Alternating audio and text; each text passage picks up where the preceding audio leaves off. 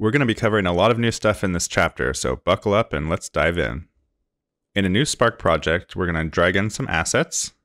So we have a fragment FBX. You probably remember that from before. Then we have a bunch of textures. We have the frosty one that we made before, and then I went ahead and made a sandy one for this chapter. And then there's an emission channel here. I also have this shockwave animation, which I rendered out of a different program. And that will import, but we have to do something a little bit differently to import that. I'm going to add an animation sequence. And I'll rename this to anim shockwave. And I always save before I import an image sequence because a lot of times I have trouble, at least in Windows, when importing those. So it's always good to save just in case. Now with that selected, I'll choose File, and I'll make sure to grab the correct sequence.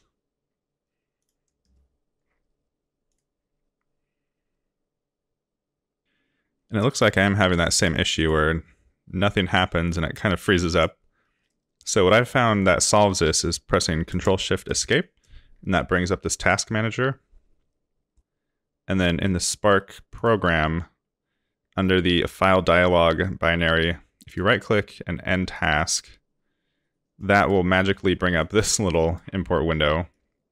And from here, I usually have pretty good luck importing. Now I just need to navigate back to the correct folder. Then select all and open. And you can tell when it's thinking because the video over here will freeze. And it looks like that worked. Now we can select this and turn off compression since these are already compressed. And the same for all of these, just disable compression. So now we have our 3D object, a bunch of textures and an image sequence, and then the animation sequence that controls this texture. So first, let's set up the material for this fragment. So we'll go add asset, new material. We'll name this matte frost fragment. And there's a default material in here. You can just delete that, or you could have used that in the first place. So at this fragment, I'll assign the frost fragment, go inside, change it to physically based, and we'll assign all the frost textures that we imported. So in texture, we'll grab the frost color. In ORM, we'll grab the frost ORM, and then the frost normal. And with the ORM, make sure that those are turned up.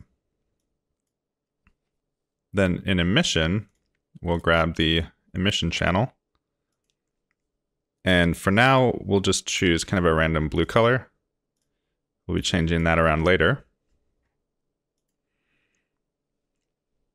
And then for the environment, let's turn that on, grab something from the library.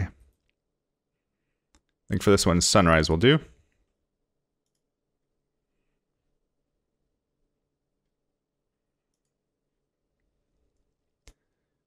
And sunrise might be a bit dark, but if you rotate it around, oh, for some reason it looks like it didn't apply here. There we go. Still though, if you want to rotate it around, you can get the shinier side on the front where the sun is. So you get that nice reflection. Although maybe it's a little too bright when it's dead on, so I'll just scoot it over a little bit more. There we go. That looks nice. And if it's looking too shiny or too metallic, you can always turn down this metallic and get it more back to a flat material. But I'm just going to keep this all the way up. Maybe 90%. Okay. So now we want to duplicate this because we want kind of a mirrored version of this. So we'll grab the fragment, hit Control D to duplicate. And then we'll go inside and we're going to reverse the scale on the mesh inside of the model along the x-axis. So we'll just type negative 1 here, and that'll flip it. But now you can see, we only see kind of the back faces, not the front faces. And that's because when we invert the scale, it kind of flips the normals, so the normals are pointed inside. So to fix this, first we're going to duplicate this material anyway. And this will be our sand fragment. And while we're here, let's change these from the frost materials or textures to the sand ones. So this will be sand color, sand ORM. The emission's the same for both. And the normal map will be sand normal. And then for cull mode, we'll change it from back to front. And then we just need to assign it to this object. So now we have our frosty side and our sandy side. And then we have the emission coming through as these little hieroglyphics. Now we don't need to be looking at my face this whole time, so let's change this to this white thumbnail here. That will just hide this display. And I'm also going to hide some of this stuff here.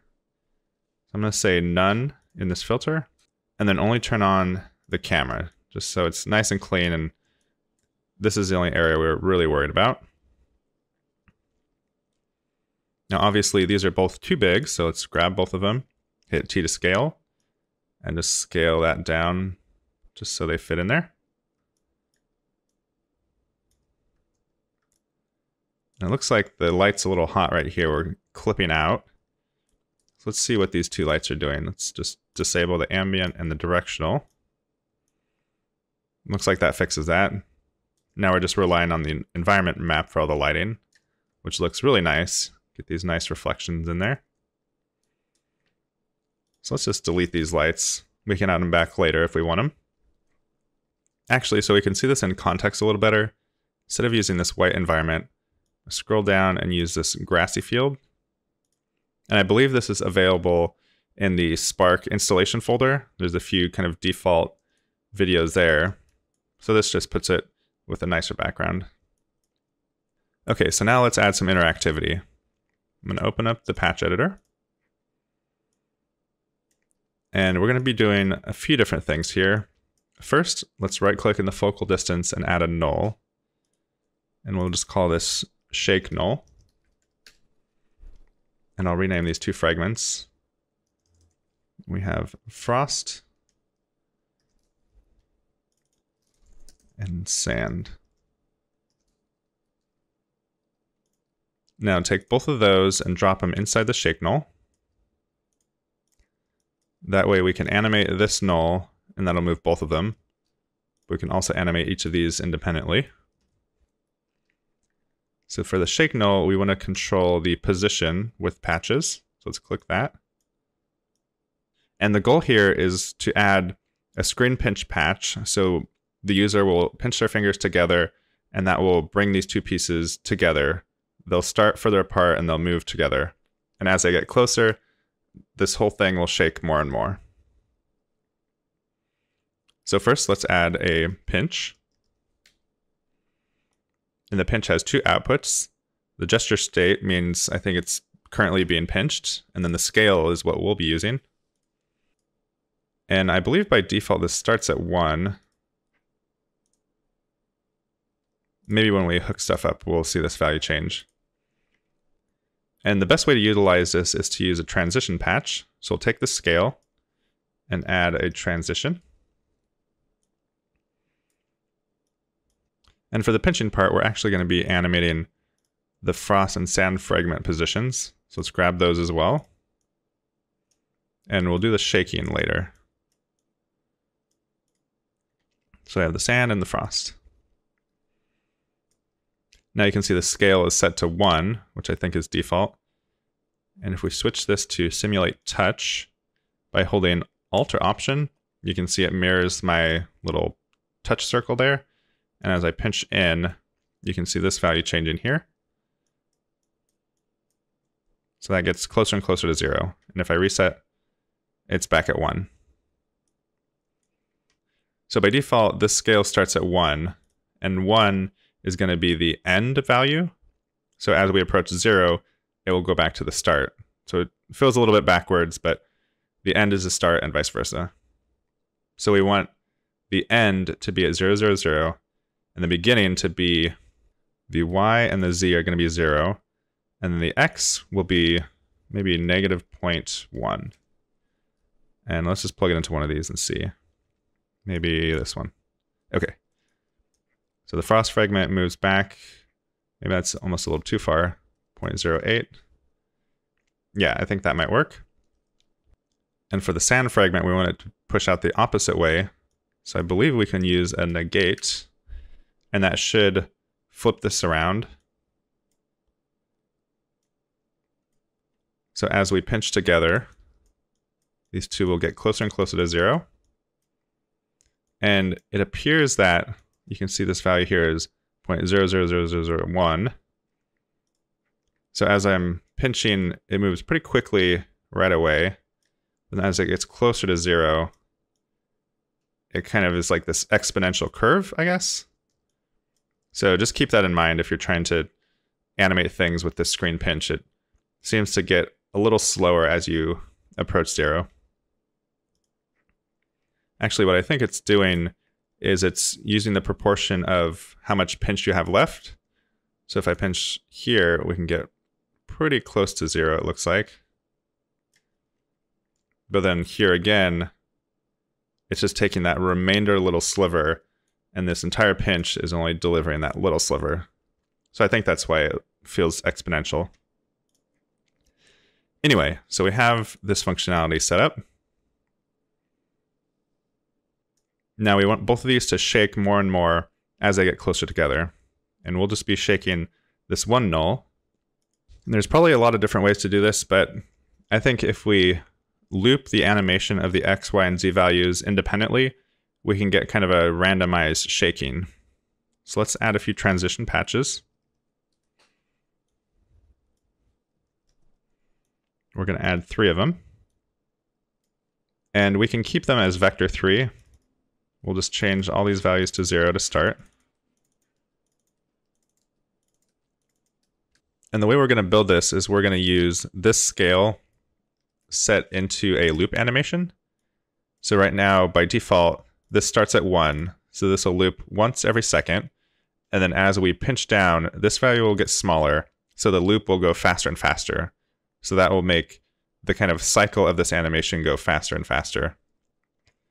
And as you can see, as I was duplicating these transition patches, it duplicated whatever I had selected in the scene as well, which is a really annoying little bug, but just need to delete those. So for starters, let's just put the progress in each of these. So these are all looping at the same interval. And let's start with negative 0.02 here, and then positive 0.02 here. And we're going to add all of these together. So I'll just add some add patches right now.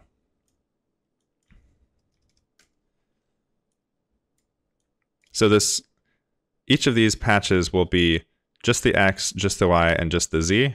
And then adding these will just combine everything. And then we'll plug that into the position of the shake null. So right now you can see the X animation is working and Obviously, it's jumping back because we don't have mirrored selected. So we'll turn that on. So now these are looping backwards and forward. And obviously they're a little stiff, so let's change it from linear to maybe just quadratic in and out. And we'll do this for all three. So that smooths that out. Now if we take these negative 0.02 values, put them in the y and the z, and then 0.02 in the y and z down here. So now we're moving in all three axes, but still it's only moving linearly because this loop animation is exactly the same in all of these. So when you add all these up, they're only going to be in that one line. So to alleviate that, we need to change this value. So for the scale, let's add a multiply patch and we'll have one for each of these three patches.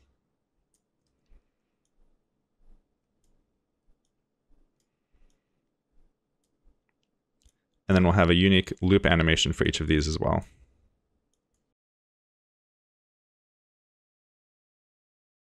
And it looks like it stuck the input into enable, which is not correct. We want it in duration.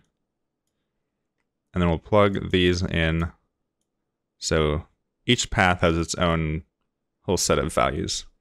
So if we multiply this one by just a standard one, it's probably okay because this will be the base. But if we change all of these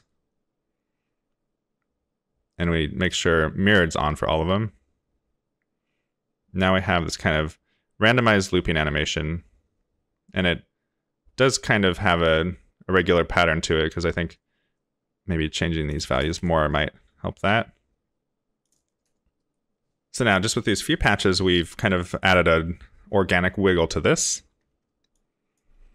And now as we pinch this together, this value will get smaller. And so this loop animation duration will also get smaller. So in theory, that'll make this go faster and faster. So let's test this.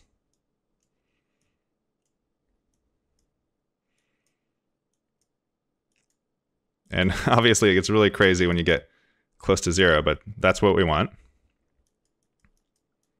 So that's looking pretty awesome already. And if you wanted to, as you pinch these together, you could also make these values smaller by inputting a few patches into this start and end. So you could control these values to get smaller as this pinch gets smaller. That's up to you, but that would make this part of it a little bit smoother. So that's it for the screen pinch part of this.